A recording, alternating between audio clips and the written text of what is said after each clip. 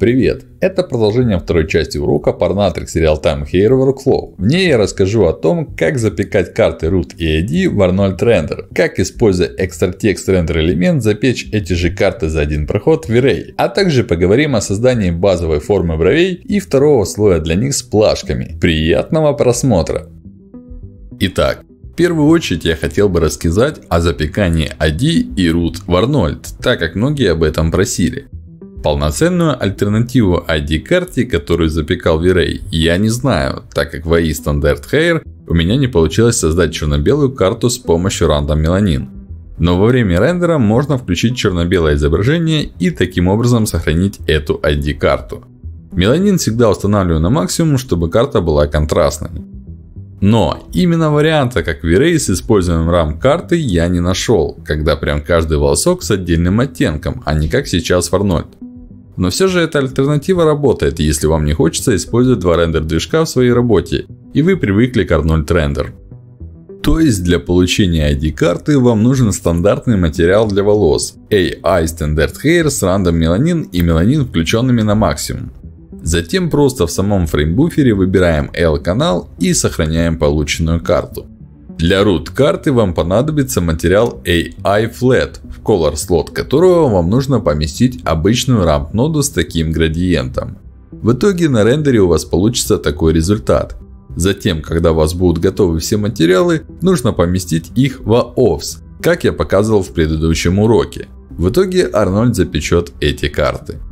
Следующий момент, о котором я хотел бы рассказать, это запекание root ID и ambient occlusion карт за один проход с помощью render elements V-Ray так же, как я показывал это в Arnold Render.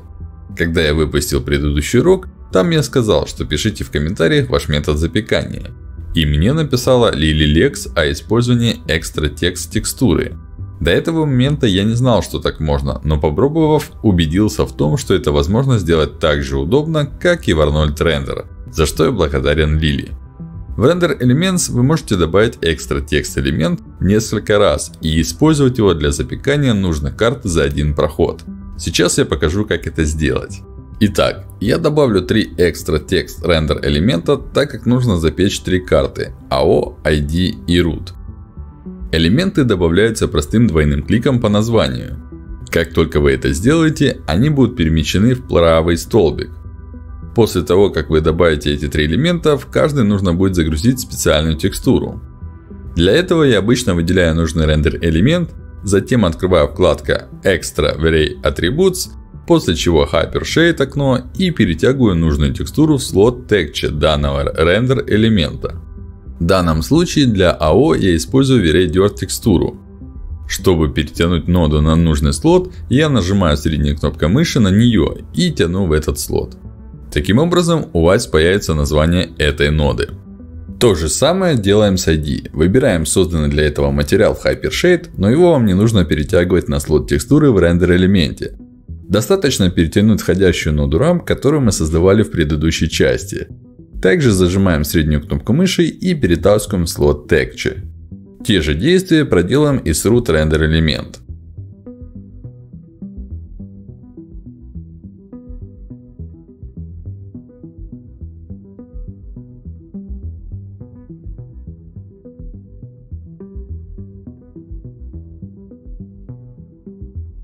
И теперь, если запустить рендер, а в вашем случае запекание, то вы увидите, как сохранились все рендер элементы, и мы получили все карты за один проход, а не несколько рендеров, как я это показывал в предыдущих частях.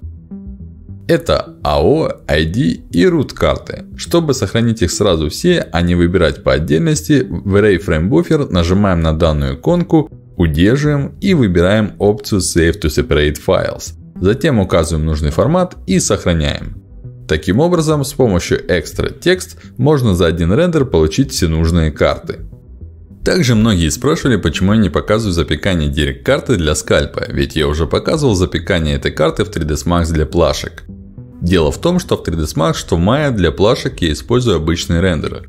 Поэтому там не возникает никаких проблем при включении Use Tangent for Normals Mesh from Strengths, который используется для запекания Direct Map. Но для скальпа при активации данной иконки, затем увеличение количества сторон и включение этой опции, время просчета увеличивается в несколько раз, и иногда Maya может зависнуть, независимо от мощности вашего ПК. Даже у меня с двумя 2080 Ti и Core i9-9920K так и не получилось дождаться результата. Поэтому лично мне удобнее запекать эту карту для скальпа в Arnold. Что касается плейнов с текстурой, я запекаю абсолютно все карты в V-Ray, так как для них я использую обычный рендер на виде сверху, а не стандартное запекание. Если бы такое можно было бы сделать скальпом, я бы с радостью это сделал. То есть сцена рендера текстур для плашек выглядит таким образом. Обычная сцена с камерой для вида сверху. Я делаю копию этой камеры и блокирую ее передвижение, чтобы нечаянно не сдвинуть ракурс. Чтобы заморозить все параметры камеры, вам достаточно выбрать ее, перейти в Channel Box и для всех видов трансформации активировать опцию с помощью правой кнопки мыши, которая называется Lock Selected. Таким образом, камера будет заблокирована и вы ничего не нарушите. Но о рендере карт для плашек мы поговорим чуть позже. А перед этим я хотел бы рассказать о создании ресниц и бровей. А также я хотел бы ответить на вопросы, которые мне задавали в нашей ВК-группе от Люк Вейк и Владимира Кей Так как эти вопросы имеют прямое отношение к этой серии уроков по Real-Time Hair. Я обязательно прочту эти вопросы в данном уроке и запишу на них ответ. Но сначала поговорим о создании бровей и ресниц. Итак, процесс создания бровей достаточно простой. В первую очередь вам нужно сделать детач поверхности из меша головы, на которой будем создавать брови. То есть проделаем те же действия, как и со скальпом. Делаем дубликат и удаляем все лишнее. После чего к полученному мешу применяем пресет Furball. Как обычно у вас появятся такие длинные волосы. Но я думаю из предыдущих уроков вы уже знаете что делать. Сначала удаляем Change Width и Hair from Guides, так как в них нет необходимости. Затем заходим в Edit Guides, выбираем подобъект Roots. После чего выделяем любой из гидов, инвертируем выделение с помощью комбинации клавиш Ctrl-Shift-I, после чего нажимаем на кнопку Delete Selected Strands, чтобы удалить все выбранные гиды. Далее, чтобы начать создание бровей, активируем кнопку Draw Strand Tool. Затем находим референс и повторяем форму бровей. В итоге у вас получится такой вариант или немного другой. Все зависит от референса, который вы выбираете. Я обычно рисую одну из бровей и затем делаю симметрию с помощью данного модификатора. Что касается референсов, для этого проекта я использовал такие. Вам достаточно написать в Google Browse и вы найдете много крутых референсов в хорошем качестве. Благодаря им вы можете тщательно изучить форму и то, как растут брови. В некоторых референсах используется подводка для бровей, в некоторых ее нет. Все будут полезны для изучения. Лично мне удобно рисовать гидами и повторять форму, которую вижу на референсе. И если сейчас я выключу все модификаторы, кроме Edit Guides, то вы увидите, что я рисовал все волоски вручную. Затем я использую модификатор Detail, чтобы оптимизировать количество точек для всех гидов. Значение равного 10 в данном случае было достаточно. После того, как форма одной брови готова, как я и сказал ранее, применяем модификатор Symmetry, чтобы получить вторую бровь.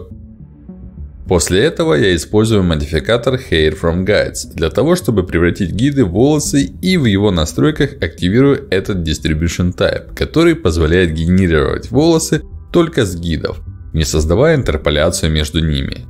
То есть количество волос будет равняться их количеству. Далее, чтобы настроить толщину волос, я использовал модификатор Change Width с такими настройками. И последний модификатор, который вам пригодится во многих ситуациях, это Push Away from Mesh, позволяющий вытолкнуть волоски, которые влезли в геометрию. Чаще всего для него я использую такие настройки. В итоге получилась такая форма бровей, которую я запекал тем же способом, как и для скальпа. То есть выбираем данный меш, открываем вкладку V-Ray, Нажимаем правой кнопкой мыши на данной иконке, выбираем опцию Show V-Ray Bake Options, используем такие настройки и запекаем объект. Еще один момент, о котором я хотел рассказать, это развертка скальпа и меша для бровей. Даже несмотря на то, что это отдельные объекты, я всегда учитываю развертку обоих для правильного запекания. В данном проекте она выглядела таким образом. Запекание для бровей и для скальпа я делаю по отдельности, так как мне так удобно. Затем собираю все текстуры в Photoshop с помощью альфы. И в итоге получаю одну текстуру для этих объектов. Я использую данный метод, потому что чаще всего во время одновременного запекания у меня появлялись разные баги, и проще было использовать этот метод, а не искать их решение. Следующее, что я делаю после запекания бровей, это создание лоу-поли плашек из них для придания объема в игровом движке, так как одной запеченной текстуры недостаточно. То есть прямо из этой формы я генерирую лоу-поли геометрию. Это делается очень просто. Выбираем ту форму, которую нарисовали, затем переходим в настройки модификатора Hair from Guides и выбираем другой Distribution Type. В Render Count уменьшаем количество, например, до 1000. В настройках Change Width делаем такие изменения. И назначаем модификаторы Mesh from Strength и Rotate с такими настройками.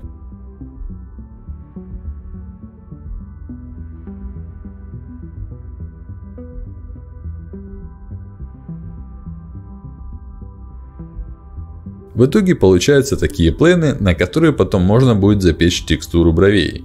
Их количеством можно управлять в Hair from Guides. Достаточно изменять значение параметра Render Count. Затем применяю модификатор Detail для контроля количества полигонов в этой геометрии и Push Away from Mesh, чтобы плашки не влазили в основу. Затем создаю один такой волосок для запекания текстуры этих плашек. Развертка для него выглядит таким образом. Благодаря этому получаются естественно выглядящие брови. Сейчас я расскажу, как получить развертку для плашек бровей. Когда вы назначите Mesh from Strands модификатор, у вас уже автоматически будет создана развертка. Последнее время я использую именно ее и не делаю больше никаких настроек, которые показывал в уроках по 3ds Max. Вы можете уменьшить ее таким образом и запечь на нее тот волосок, который я показывал.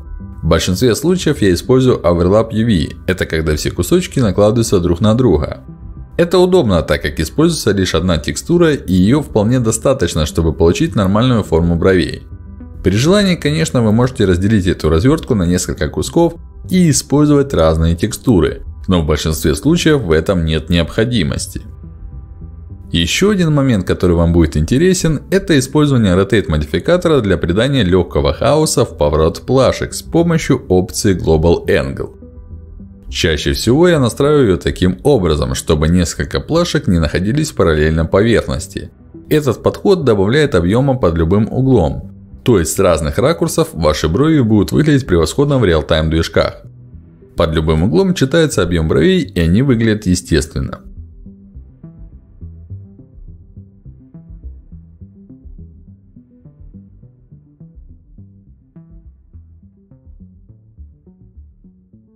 Это все, что я хотел рассказать в данной части. В следующей части поговорим о создании ресниц и я отвечу на вопросы, которые обещал. Благодарю за просмотр и хорошего вам настроения. Всем мира!